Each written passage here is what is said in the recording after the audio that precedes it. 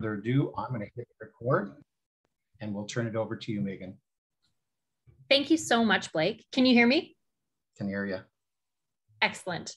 Um, thank you so much for this opportunity. I really enjoy having these opportunities to step back and collect my thoughts and reflections on my life. And um, this has been one of those opportunities where I got to sit down and, and really articulate my thoughts on faith and science and, and my journey. And so the way that I'm going to structure this talk is I'll give a brief introduction to myself, which actually, Blake, you've covered really nicely. Um, so so as Blake mentioned, I did my undergraduate degree and my master's degree in Edmonton, where I was born. Um, and then I was fortunate enough to win a Rhodes Scholarship and I moved to England. And um, the sort of the, the bookend of my experience in England was having my, my daughter, Laurelyn. This is me in my what's called subfusc, which is um, a special outfit that you have to wear at Oxford when you defend your thesis. And so I had to get special maternity subfusc and my daughter was born, you know, days, just mere days after I managed to finish the degree. Um, just a quick question. Can you see my mouse moving around the screen? Um, let's see. I see my mouse. Let's see. I'm going to move mine off so I don't get it mixed up. Um, I can see glimpses of it here and there. Glimpses of it here and there. Okay. Yeah, but it's I, it's good. Otherwise, I'm just seeing the photo itself. Uh, maybe I'll try with a spotlight. Um, Did you want us to see the mouse? Yeah, I just want to be able to point things out on the slides. Okay so let me just see if I can get, I should be able to actually do this on Zoom. There should be a laser feature. So let me just see, I'll take five seconds and see if I can get it to work. and if I can't, then. Um, this is all the, the fun of new technology. I'm see, yeah, oh, there we go. Okay, so do you, you know, oh, there we go. Yes, I can I see the little red laser. dot there. Perfect. Okay, excellent. Beautiful. Okay, and so, so yes, yeah, so I finished up in Oxford and then um, took maternity leave with my daughter, Laurelyn. And this is a family, a recent family photo. Um, these are my kids, Laurelyn and Francis, my husband, Mitch. We're living in Cambridge. Um, yeah, so it's wonderful to meet you. And thank you so much for having me today. The outline of my talk is as follows. So I'm going to try and weave together some of my more, some of my reflections on the nature of the faith science intersection with my story. So how I came to have those those reflections and those thoughts. So it's going to be part narrative, um, part philosophical treatise. So I hope that's okay. So I'm going to start with faith. Um, then I'm going to talk about my science. And then I'm going to talk about how they intersect. Then I'm going to give um, a few caveats. And now, if I had actually given this talk back when Blake first contacted me to give this talk, I might not have had this, this fourth section um, so I'm really actually grateful to be here today to be able to speak to that because I think it's really important. And I'm finally going to close with some of my thoughts on mission and how all of these things inform um, inform my mission. So faith, kind of the foundational element here in my my flow chart. So I I was a cradle Catholic, um, and I'm going to pop up a picture here of probably the most important person, um, you know, aside from God the Father, Christ the Son, the Holy Spirit. Um, the most important person in my faith formation was my my grandfather, and so his name is Bernard Roth, and he's seen here in his workshop, and he spent you know hundreds and hundreds of hours of his retirement crafting these beautiful creches um, so nativity scenes. And he would give them away to schools and churches. And it basically he he built bethlehem everywhere. And um, the experience of watching him live his life he was he was very humble very grateful i could tell you dozens of stories about how he allowed his life to be a reflection of christ's love and there's a, a really lovely st francis of assisi quote preach the gospel at all times, and if necessary, use words. And I always think of my grandpa Roth when I hear that quote because he, I don't remember ever having a conversation with him explicitly about faith. And yet, I found as I came into young adulthood, there were certain tenets that I just knew in my bones. And when I interrogated why, it was because I had seen the fruit of a life lived with within the catechism right? I'd, seen the fruit that the holy spirit produces in the person of my grandfather. So there was a really deep faith that sort of took root in me at a very young age. Um, and i think it, it informs kind of the, the whole rest of my story the whole rest of the discussion is this foundational faith um, and i really love this quote from cs lewis I believe in Christianity as I believe that the sun has risen, not only because I see it, but because by it, I see everything else. And I think this really encapsulates um, for me how Christianity is the fundamental framework or the fundamental lens through which I'm viewing the world. So I'm just going to give you a disclaimer in this talk. I'm coming from a, a Catholic Christian worldview. I was formed in that worldview. So everything else is going to distill from that. So now let's talk about um, science. So how does science come into my life and my picture? So first, first we had this foundation of faith. Um, and then as I as I grew into adulthood, I developed an interest in science. And I had the privilege of working in various different research environments. So I'm just going to give you a brief whirlwind tour of the, the scientific research experiences that I've had. So my very first research experience was with lasers, as was intimated in the title of this talk. Um, the first thing I got to do in a lab ever was play with lasers, very, very powerful lasers. And in fact, um, this was where I learned that I probably shouldn't be an experimental scientist. So I had the unfortunate experience of burning my hair in the laser beam once because I had very, very long hair and I was leaning over these, these, um, these items that you're seeing here in the picture are lenses. So this is a typical optic setup in a laser lab. And what, what opticians do is arrange these lenses and to guide the laser along a certain path the path that that we wanted to go for whatever research purpose. And so at one point, I actually was leaning over a lens and trying to focus the laser beam, and my hair um, started to to smoke and sizzle. And so I realized maybe the lab wasn't the place for me. So I moved into um, more theoretical research, and I had the incredible opportunity of studying what's called an X-ray binary. So here I'm showing a picture of an X-ray binary system. So binary because there are two members of the system. One is a normal star, rather like our sun, just a normal star living its life.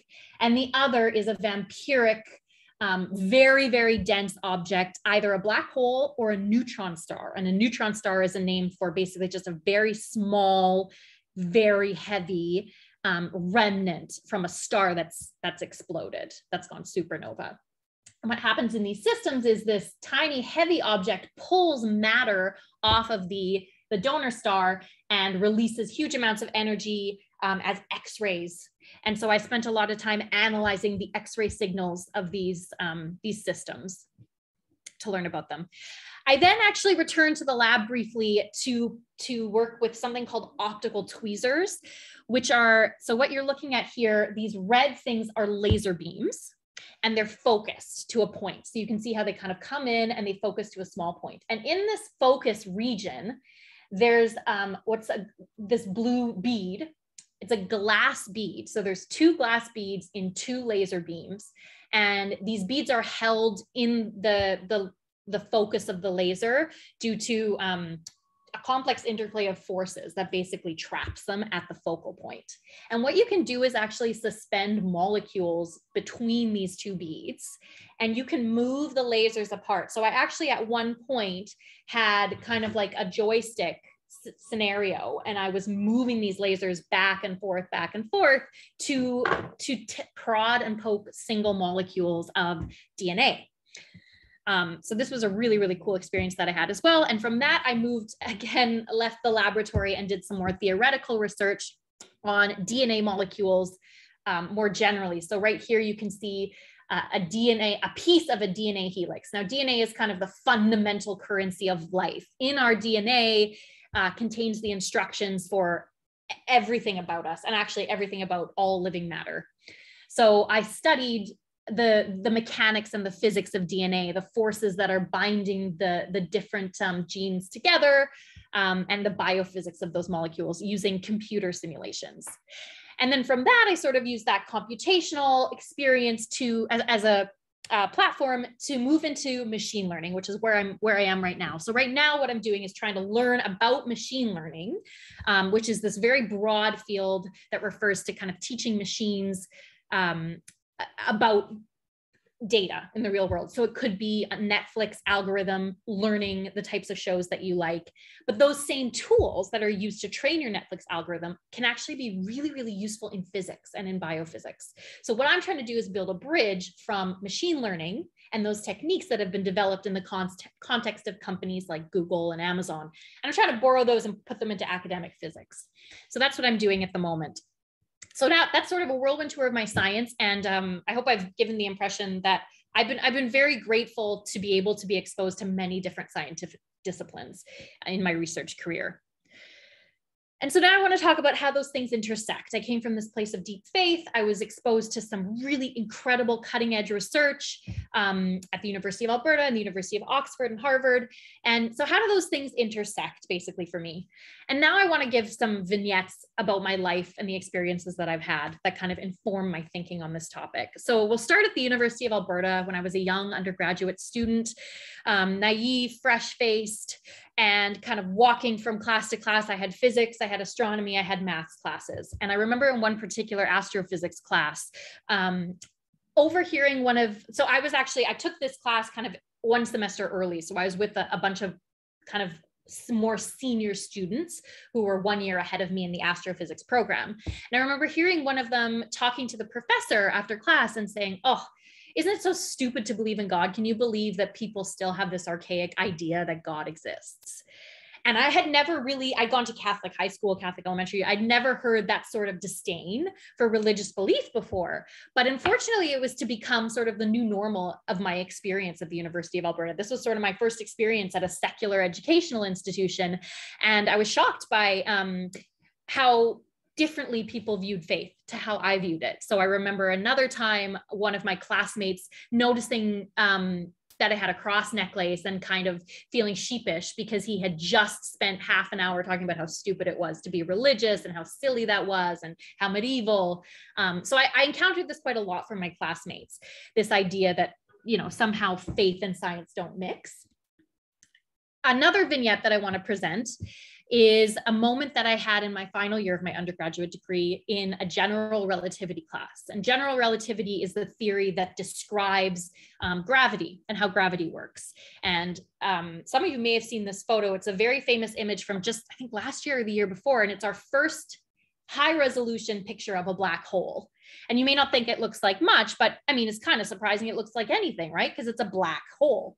But what you can see is uh, a ring of light around the black hole. And I remember learning about black holes in my general relativity class and having kind of an epiphany, a moment of um, a, a sort of deep realization that there was a really deep philosophical dimension to some of the science I was learning. My professor was talking about how what happens in a black hole is you have light that's sort of orbiting around it and slowly getting drawn into the gravitational well of the black hole. But once light uh, passes what's called the event horizon, it can never ever come back out and you can never send any information out of that horizon. So you can basically never communicate what the experience of crossing that threshold is like. And it occurred to me that that was just like death, right? You can't no matter, even though so many billions of people have gone through it, you can never communicate back. Information can never pass back through that event horizon. And I'm sort of sitting there in my GR class, you know, missing the, the rest of the derivation because I'm thinking, wow, like that's that's really profound. God is the author of this incredible universe where these truths are accessible philosophically and also scientifically, and sometimes both at the same time. So, the third formative experience I want to share with you in my development of kind of faith science philosophy is reading the book Mere Christianity by C.S. Lewis, which I really can't recommend enough. And this was sort of coming at the tail end of my undergraduate degree. I was in my master's degree, and I'd had these two kind of experiences one of people critiquing faith in the light of science, like my classmates and peers sort of thinking it was stupid to be religious. And this other experience of a deep sense of wonder in learning about the science and connecting it to theology and philosophy. And I, I, sort of didn't know how to marry these things together. And then I read Mere Christianity, and I remember finishing it it was it just changed my life and i was finishing it on a plane a really small airplane where there's one seat at the front i don't know if you've ever been on an airplane like this but there's one seat at the front that faces everybody else in the plane and i'm in that seat and i've chosen this moment to finish mere christianity which brought me completely to tears. So i'm sobbing on this airplane finishing this book you know because it's really clicked things into place in my soul. And everyone on the plane must have just thought what's going on? Why what is she doing what's going on? And why i was crying is because i realized that my faith was reasonable and i didn't have to be sort of siloed into scientist and you know catholic who loves my grandpa. It was it was um they were sort of seamlessly entwined in God's creation. And I realized that the Christian faith is fundamentally rational, fundamentally reasonable. And there's this really beautiful quote um, from Mere Christianity that humans became scientific because they expected law in nature, and they expected law in nature because they believed in a lawgiver. So not only was Christianity reasonable, but the whole edifice of modern science was actually able to develop because there was a Christian climate in which sort of the movers and shakers in society believed that the universe would be comprehensible. So they were patrons of the sciences. So the church was actually a great patron of science. And sort of realizing this really clicked things into place for me. It was very transformational. So now I want to just read a couple of quotes from Genesis that um, communicate how, how I see faith and science interacting. So now the Lord God had formed out of the ground all the wild animals and all the birds in the sky. He brought them to the man to see what he would name them. And whatever the man called each living creature, that was its name. So the man gave names to all the livestock, the birds in the sky, and all the wild animals. And so for me, this is describing the scientific endeavor. God created this incredible universe and it is our inheritance to name it. I mean, in biology, that's literally what's happening. Biology is a science very much of classification, you know, naming things, taxonomies. But in in a you know, even in the other sciences, kind of what you're doing symbolically is naming the universe. We're looking at photons, we're looking at black holes, and we are naming them. That's a quasar, that's an X-ray binary system, and we're we're understanding them. We're trying to comprehend these creatures and these phenomena that God has made. Um, and then a related quote here then God said, Let us make mankind in our image, in our likeness, so that they may rule over the fish in the sea and the birds in the sky, over the livestock and all the wild animals, and over all the creatures that move along the ground. So, here again, I think we see that we have been given a mind in the image of God that is able to delight in the creation because precisely because we can begin to probe it and understand the underlying laws. And i think you know fundamentally this is you know at a deep level this allows us to become closer to god because we are getting to know we are getting to know god through our scientific inquiry. And what i mean by that um, i can try and illustrate with this quote um, from C.S. Lewis, also from Mere Christianity. Um, so I'm going to read a longer version of the quote than I've put up here. Everything God has made has some likeness to himself. Space is like him in its hugeness. Matter is like God in having energy. The intense activity and fertility of the insects, for example, is a first dim resemblance to the unceasing activity and the creativeness of God. In the higher mammals, we get the beginnings of instinctive affection, that's not the same thing as the love that exists in God, but it is like it, rather in the way that a picture drawn on a flat piece of paper can nevertheless be like a landscape. So we're learning about God because his creation bears the fingerprints of him. So when I'm learning about quantum mechanics and the deep mystery of it, in some way I am falling in love with God as you would fall in love with a person as you get to know them. You get to know their likes and dislikes. You get to know their sense of humor. You begin to delight in their uniqueness. That's what I'm doing when I'm doing scientific research. I'm learning about God and I'm seeing his sense of humor and I'm seeing his brilliance as I learn these physics laws that govern his creation. And I think he delights in that. I think he delights in us learning about him in that way. Um, and so I'm also going to draw here, just to close this section, from the Catechism, the Catholic Catechism. Um, so, with creation, God does not abandon his creatures to themselves. He not only gives them being and existence, but also at every moment upholds and sustains them in being, enables them to act, and brings them to their final end. And what I take from this is that God didn't just make the universe, program the laws of physics, and peace out. God is every moment sustaining creation, every moment creating anew all of creation. And so he's present intimately in the continual functioning of the laws of statistical mechanics. And so in learning those laws and in, you know, probing things with the laser tweezers, I'm actually interacting with God in the present moment as he continues to create those things and sustain those laws. So it's getting to fall in love with God, scientific study to me. So now we can kind of return to what I talked about as my scientific experiences. And this is where I've come to appreciate the science that I'm doing. I've come to, to see God in in the brilliance of the genetic code that he's created, in the majesty of the X ray binary systems that are at this moment sort of violently whirling around in space and holding all these things in tension, the very, very large scales of science that I've explored, and then the very, very micro scales, the nanoscopic scales of science that are, you know, just now opening up new horizons in technology that that we're you know we're using dna now to make artificial machines that can help with drug delivery and cancer treatments. So, learning about how manipulation on that nanoscale can be done and also appreciating the vastness of God's creation has really deepened my faith. Um, so, that intersection has been super foundational for me. And now another vignette from my story, um, I kind of used this, this profound sense of falling in love with God through science um, as the motivation for my application essay to the Rhodes Scholarship. The whole essay was kind of predicated on, you know, science and faith. And in a way, I think my success was partly because this was a strange narrative for people to hear. They weren't used to a scientist openly proclaiming her faith.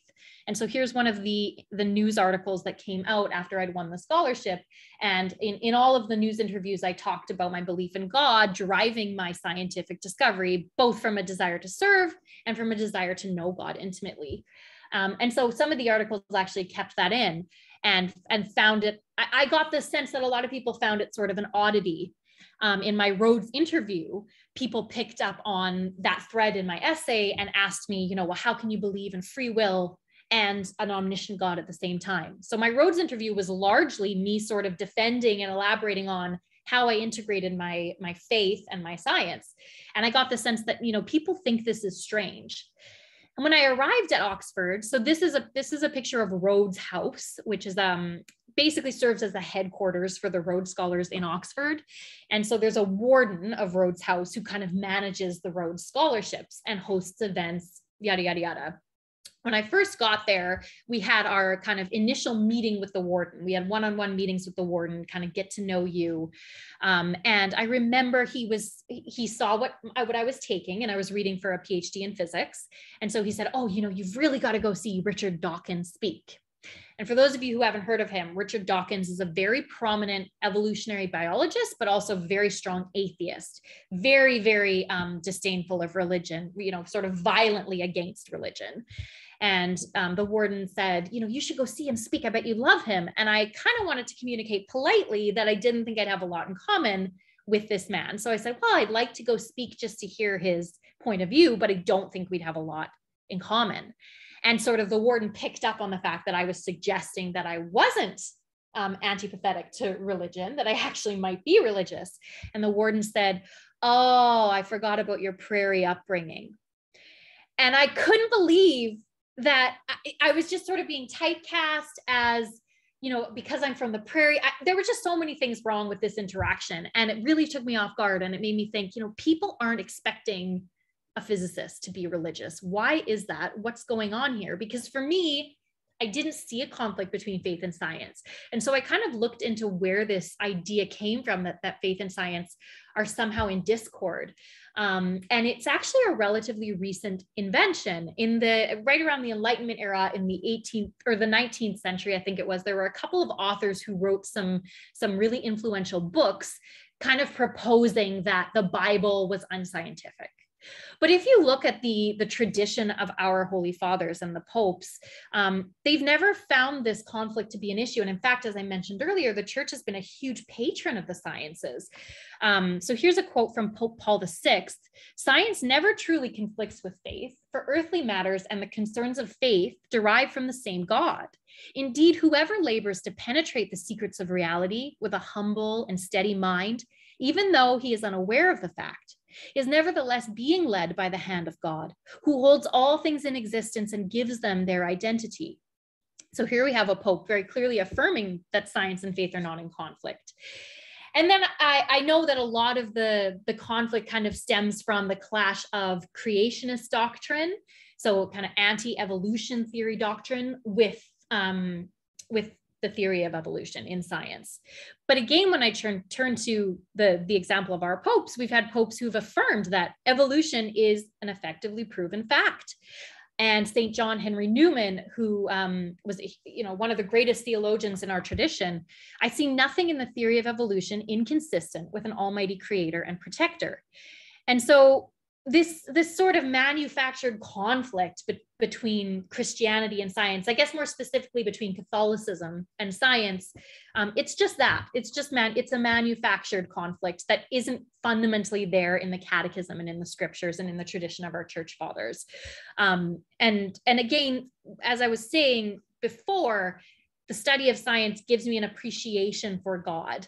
I think evolutionary theory as well deepens my appreciation for God because the way that he brought about life is so much more complex and so much more intricate than something that we could have imagined. And so the study of that, I think, is, is a beautiful complement to faith. Um, so now I just want to give some heroes of faith and science because I acknowledge that this is a very widespread um, misconception that that faith and science are at odds. So I want to give some heroes of faith and science. Hildegard of Bingen is one of my favorites. Actually, my daughter's middle name is Hildegard. So Hildegard is basically um, well, a huge polymath, but she was kind of a medical doctor, kind of one of the first people to write a medical treatise. So she wrote a lot about plants, animals, and trees and their medicinal uses. Um, so she also talks about, you know, how she writes a, a bunch about botany. She, she, yeah. So uh, yeah, she's one of the very, very first people who actually wrote down um, medical writing. Like her her writing is studied in a lot of medical science degrees because she's one of the first people that wrote this stuff down. And at the same time she's a great doctor of the church a saint in the church. She had mystical visions. She wrote tons of symphonic works praising god. Like she's a very holy woman. She was an abbess um, but also one of the first medical scientists. Uh, next is father gregor mendel who is the father of genetics. So all of i mean you could say almost all of modern medicine um, owes a debt to this man who was a Catholic priest, an Austrian and a Catholic priest who did experiments with pea plants in the 19th century and learned about genetic inheritance. So he sort of founded this field of genetics on which so much modern medicine relies. Sister Mary Kenneth Keller was the first, was a nun, clearly, and the uh, Catholic nun, and the first person, not just first woman, but the first person to get a computer science PhD um, in the United States. And Father George Lemaitre is actually one of my favorites. He's a Catholic priest and actually the person who came up with the Big Bang theory. So we, so you may have heard this theory that the universe started um, as an infinitesimally small bit that exploded into all the matter that we have today. Well, the author of that theory was a Catholic priest, and um, he he was the very first person to predict the way that the universe, uh, the rate of the universe expansion that we use today. Um, and so, so he's the author of the Big Bang Theory. And he, he actually knew Einstein as well.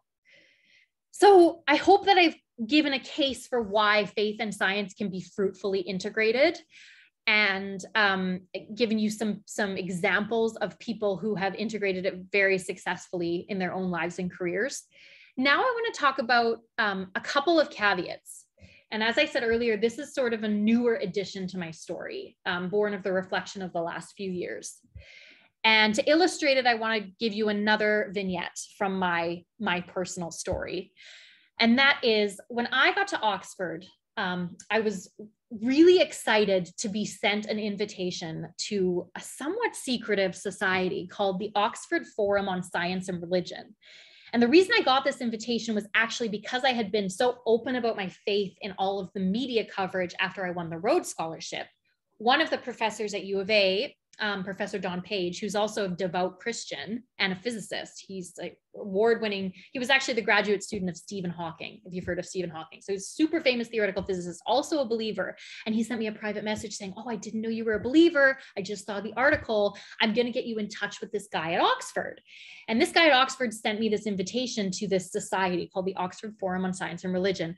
And this picture here, this painting, it's basically exactly what this forum was. It was a bunch of older gentlemen sitting in what's called a senior common room where all the Oxford professors kind of dine and smoke cigars after dinner.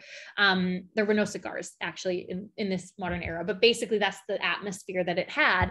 And I was based, I was, I think the only woman occasionally, um, one of the professor's wives would attend, but I was certainly the youngest member and often the only female member in this sort of this sort of dark cloying atmosphere. And what would happen was it was a bunch of professors from across theology and science departments that were christian and they would get together and present a paper on faith and science and we would spend the evening kind of discussing it. And there were some really big names. I remember feeling completely overawed to be in the presence of these men because there were some huge players in faith and science. Alister mcgrath who is a really really famous author who's like a cs lewis biographer. Um, richard swinburne also very very famous science faith apologist and these guys were presenting papers and i was there being asked to comment. And for most of my visits to the oxford forum i was too overawed to say anything.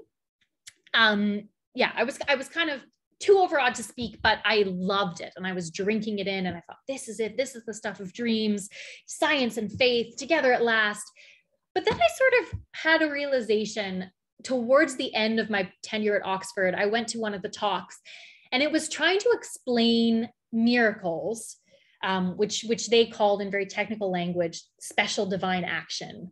Um, and it was trying to explain how that was consistent with quantum theory and how quantum mechanics could kind of allow those things to to happen. And it just I can't quite narrow down the exact phrase or the exact moment that I had that triggered this thought.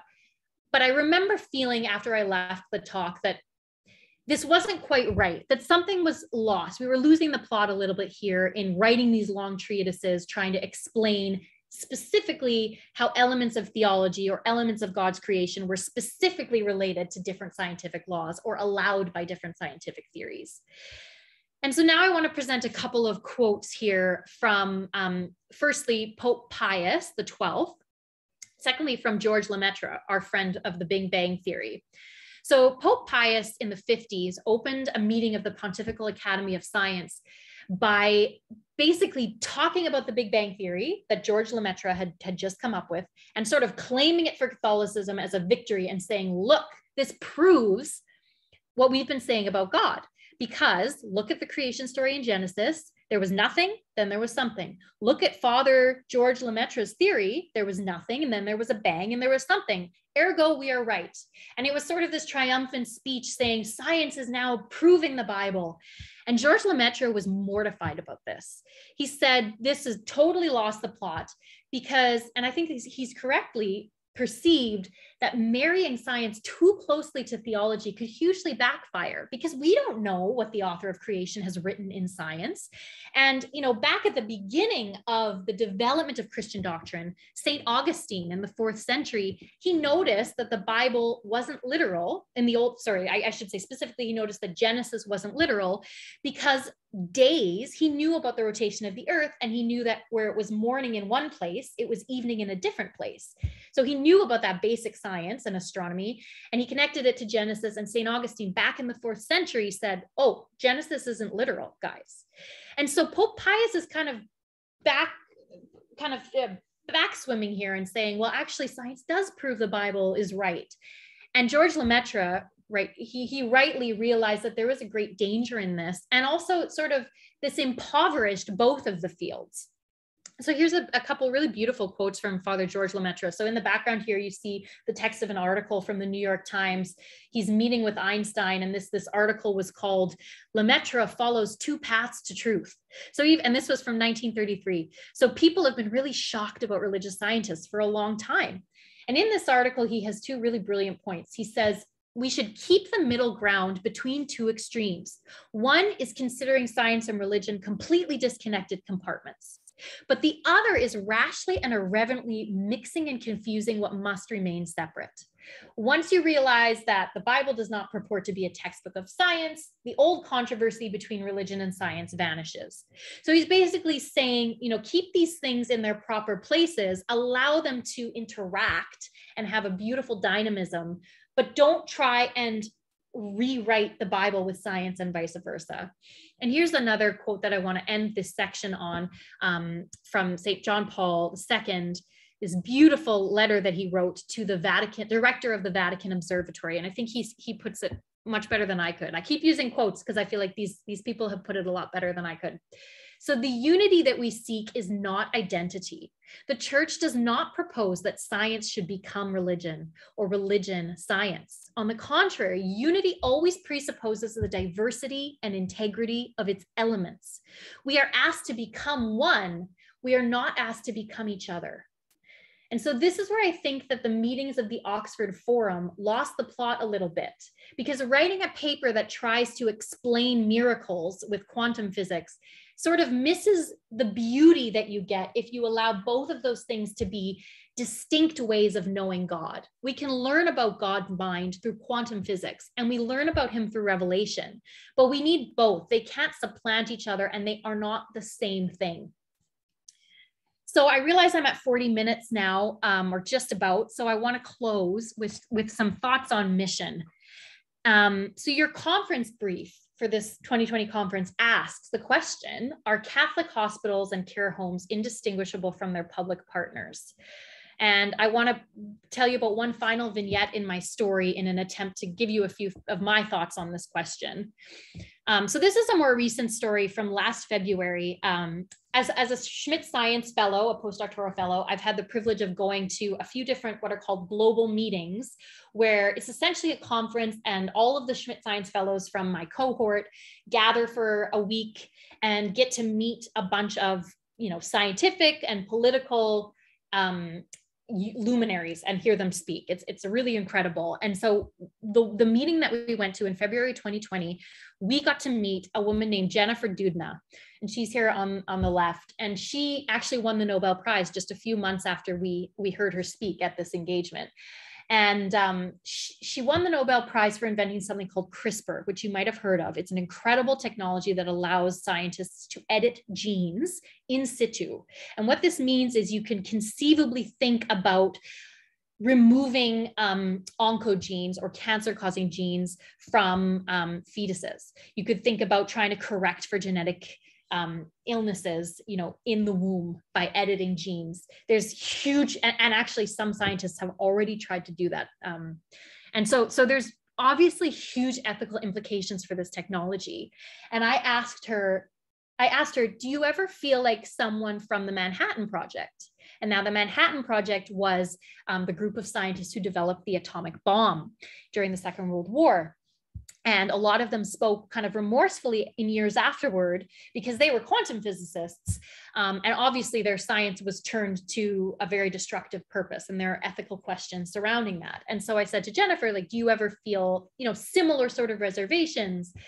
And she said, you know, I never really thought about ethics. I remember having to take an ethics seminar as a graduate student, but I just sort of sat at the back and thought, this doesn't apply to me. And I was really kind of shocked and dismayed by that answer because it's super, super important as a scientist to be cognizant of the ethical implications of your work. And just a few examples I've mentioned the atomic bomb, now gene editing with CRISPR. You know, um, there are medical issues like abortion, abortion and euthanasia. There are issues surrounding artificial intelligence when when and if that becomes sentient, what sort of rights would art- artificial intelligent beings have?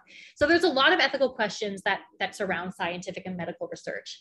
And I think that scientists need to be serving God in holiness and they need to be animated by love.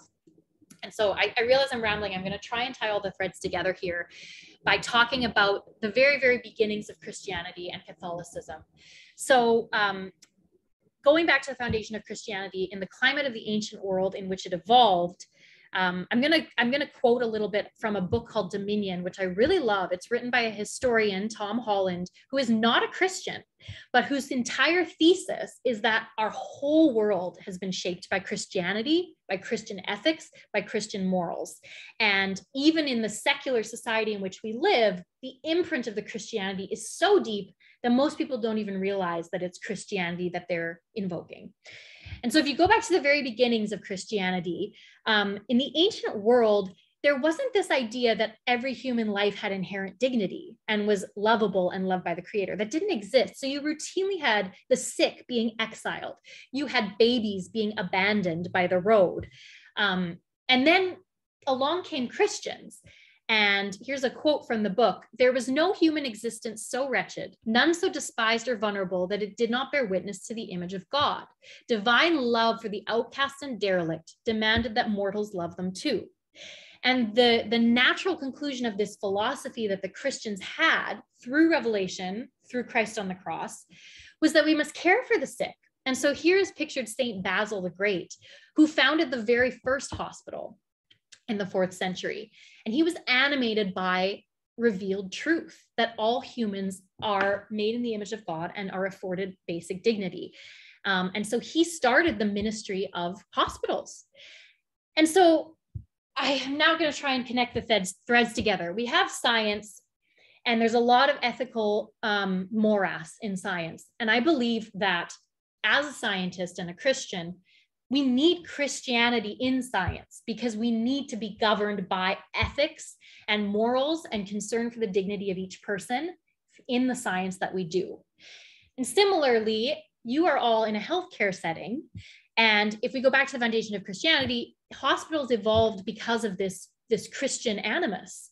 And so the difference, I think, between Catholic hospitals and care homes and their public partners is that the secular institutions have become unmoored from the very truth that instigated them. They exist because of Christianity. In the ancient world, you didn't have hospitals. It is a Christian conviction that causes us to want to care for the poor, to see the dignity in the dying, to see the dignity in babies and the unborn. So I think that a lot of our secular institutions today, including science, which is from my my world, and including healthcare, which is your world, they've become unmoored from the very the, the very ethics that they need the most. We need that Christian animus, we need that love. We are a holy people, and we need to bring that holiness into to all of our endeavors. So I just want to end here with a quote from 1 Corinthians. If I speak in the tongues of men or of angels, but do not have love, I am only a resounding gong or a clanging cymbal. If I have the gift of prophecy and can fathom all mysteries and all knowledge, and if I have a faith that can move mountains, but do not have love, I am nothing. And for me, this love is God. And I can know quantum mechanics and I can pull molecules apart. But if I do not have love, it means nothing. It is sound and fury signifying nothing. And so um, I want to leave you with that. And I'm very happy to take any questions that you have. And I'm sorry I've gone a little bit over time, but thank you so much for, for sharing this time with me and for listening to me. Thank you very much, Megan. I can't stop smiling here. I'll keep my eyes open. So if people want to ask questions, you can either ask it in the Q&A on the bottom or in the chat. Um, while people are forming those, I just want to uh, begin by thanking you. I couldn't stop smiling throughout the presentation. And I know if our ethicist was here, she wouldn't able to make it today, but I'll show her the recording of this. Uh, she'd be smiling too, because I think she's very much of the same mind. Uh, I was glad you mentioned Hildegard. She was, uh, I had one of her albums years ago. So I'll have to go back and see if I can dig up that CD. But uh, it was really great hearing about some of your story and seeing your, your grandpa Bernard there, good, good man, building Bethlehem everywhere uh, and for sharing some of your story about um, you know, I guess what what would be termed as as a wrestling with your faith in terms of growing in your faith, and then, you know, sort of having to be almost an apologist and and, and figuring out how it fits in with science. I really appreciated that. Um, I've been I've been wrestling through a book myself by Brian, Greene recently here, and he uses some of the same phrases. So I mean, I'm I'm getting really excited about the work. I love the work that you're doing. I just think it would be so interesting to have a whole presentation on that. But uh, the one line that stood out for me uh, was that idea, and I think it was the John Paul II, was that we are asked to be one, not to become each other. Um, because again, that that sounds like a theological uh, statement, but it, it, you know, in some ways, uh, maybe that's also something that could fit into physics as well, space time. But at any rate, um, it was interesting again some of the history and the points you brought out about St. Basil and the fourth century hospital. I, I love how you drew it together and, and in such a personal way. So I really appreciate that. I'm just turning over here. Oh, and there's Mary. She said she actually was here and she is smiling. okay. Dr. Mary Heilman is smiling. So that's good to hear. Um, good. Okay, so I'm just going to keep a lot of people just saying thank you. That was amazing. Uh, amazing. We're all smiling. Thank you so much. Um, if there are no questions, I'm going to keep my eyes open here for another second or two. Um, but again, I just want to thank you for being part of this day. Thank you very much for your presentation. Um, for those of you who either wanted to see parts of this again or to share it with somebody else, it is being recorded. We will put it up on our website um, probably in the next, if not tomorrow, it'll be early next week. And you can take a peek at it from, from there. Um, but otherwise, I'm just seeing, again, thank you, Megan, wonderful presentation. Um, a lot of people sharing some of what they, they heard. Ethics and science, all hospitals exist because of Christianity, Corinthians 13, faith, hope, and love. Thank you for pulling this all together. Uh, okay, here's a question. Um, Megan, do you feel like there has been any shift from your time as an undergrad to now in how students slash academics are understanding the role of faith in the world? I'm finding in healthcare as more space is made for other cultures and faith traditions, there is some movement towards welcoming other ways of knowing. Yeah, that's a really good question. Well, from my personal experience, what I've found is to be honest, like to be frank, what I've found is there is a welcoming for other ways of knowing as long as it's they're not Catholic ways of knowing like there is sort of this shift to embracing yoga, embracing mindfulness, embracing even things like astrology and sort of healing crystals are now coming back into the, the mix. Um, but there is still this this kind of disdain for Christianity. I mean, specifically Catholicism, but Christianity in the sense that I almost feel like people are trying to rebel against their parents. Like as a culture, as a society, we sort of are trying to cast off the shackles of our mom and dad. Like that's not cool. Christianity is not cool because that's what it was. You know, these Eastern religions, these are really cool. And of course, there are beautiful truths in Eastern religions, um, and there's a lot of overlap with Catholicism and Christianity. But I feel like I haven't experienced in the academic climate any welcoming basically. I mean, yeah, I'm thinking now of an experience I had at a conference. I mean, it was 10 years ago now, so it was a while ago, but this researcher just at this poster session totally ripping apart Christianity and and saying, "Oh, well, we've all we've disproven all this. It's just it's just a repackaging of the 10 feats of Hercules, isn't it? That's what Jesus does. Jesus is just Hercules." And he was just so rude and so disdainful in a way that like I just can't imagine at a similar conference somebody saying the same sorts of things about Islam because I think there is, and this is a beautiful thing. There's a lot more tolerance for for those communities. Um, but I, in the academic world, you still get a lot of vitriol, and I think it's because we've inherited a Judeo-Christian worldview, so we we kind of can we can kind of hate on it in the way that you rebel against your parents. I don't know. Maybe I'm kind of rambling. well, I was thinking, uh, there's the book. I, I, I don't know if I've got the author right. Thomas Harpur, who wrote The Pagan Christ, and that's what he was trying to do in there was kind of conflating all of the, these different you know religious beliefs across the world and then saying they're just they're basically imitations of each other.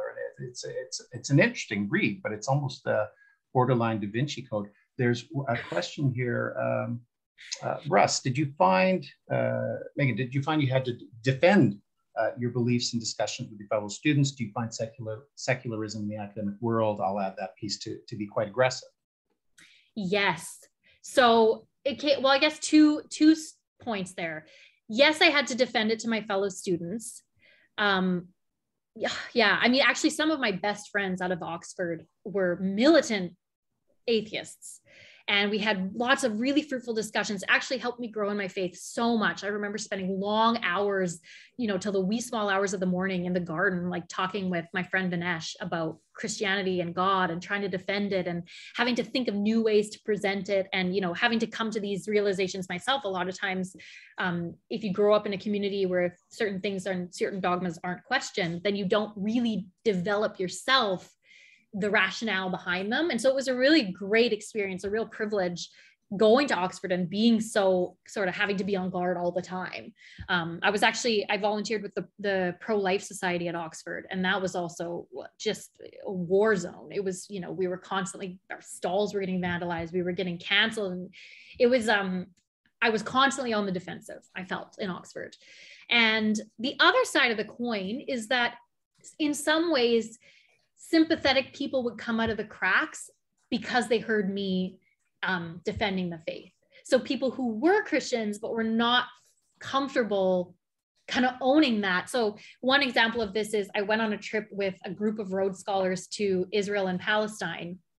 Um, and we happened to be going um, on Triduum weekend and they sent us our itineraries ahead of ahead of time and I saw that there was no time to go to mass. And so i i said well i'm going to need to go to easter mass or i can't come on the trip. So can you please like make space for this to happen? And they organized a bus for i thought just for me and it was super nice um, to go to easter sunday mass. And probably about six other people out of the group of 15 came with me to easter mass but wouldn't have asked like wouldn't have kind of made a fuss about it but were happy to come. And so i felt like so I guess both sides of the coin. Yes, I had to defend it, and I often felt like I was sticking my neck out.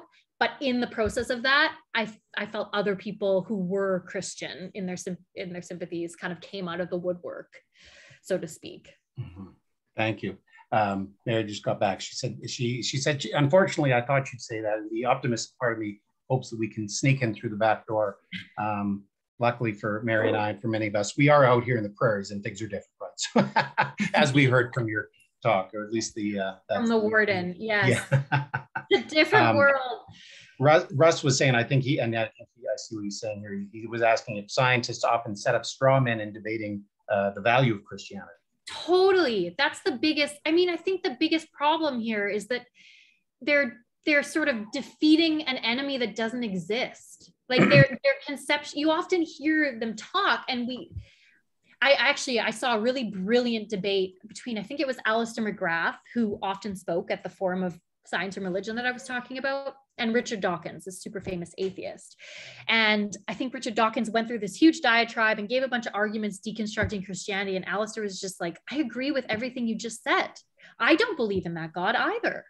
Like you don't know the God that I believe in, right? And so so I think that there's um, I think, yeah, there's a real straw man effect happening. And unfortunately, I think it's because of a tendency that's emerged within Catholicism to sort of um, neglect the, the rich intellectual tradition that we have and to sort of impoverish the faith as we pass it on and not acknowledge the that there that it is reasonable like it wasn't until i was reading mere christianity on the plane as you know a young woman that I that I realized my faith was reasonable when that is fundamental. Like that's cool. maybe that's just because i wasn't listening well in cat in catechesis. That might just be because i was not paying attention. But i do think that there's this effect and one of the the bishops that i love bishop robert barron who produces a lot of content and speaks a lot about this there's sort of this impoverishment of the faith and what we truly believe. And so a lot of times we don't even know how how how sensible it is and how reasonable it is and how deeply brilliant it is and so that le- that bleeds into the secularists sort of doing these straw man things because a lot of times Catholics don't even know that we don't believe in this sort of Santa figure in the sky and that we can believe in evolution. And that so there's a lot of there's a lot of straw manning that happens. And I unfortunately think I can understand where it comes from because I think that even a lot of Christians don't realize the the the profundity of our notion of God. Beautiful, thank you. There was a, a, a fellow at Newman, Father Don McDonald, that took a theology of God class from him. He said uh, very much the same thing. This idea of you know, tell me about this God you don't believe in. I probably don't believe in him either. Um, yeah. And it was that sense of of you know when you see shows like The Simpsons or these sort of literally, literally cartoon versions that it's like we're we're trying to defend something, but that's not what we we believe. He, he said he said most of what we say about God is just as wrong as it is right. You know, God is love. Yes, that's true, but we're also we have a misunderstanding of what we even mean by love. So um, right.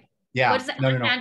What is, there's a name for that anti antiphatic theology or something. Oh, now you got remember. me thinking about antipasto. Now I'm going to go have a snap. All right. Thank you very much for everybody who's, who's held on here. Thank you very much, Megan, for your time. This was beautiful. It was great seeing you here. Um, thanks everybody for popping in. We will see hopefully many of you tomorrow morning at uh, 10 a.m. for our next uh, presentation with uh, Gordon Self, and then at 2 p.m. in the afternoon with our recent addition, uh, Michelle O'Rourke. So take care, everybody. Thank you again, Megan.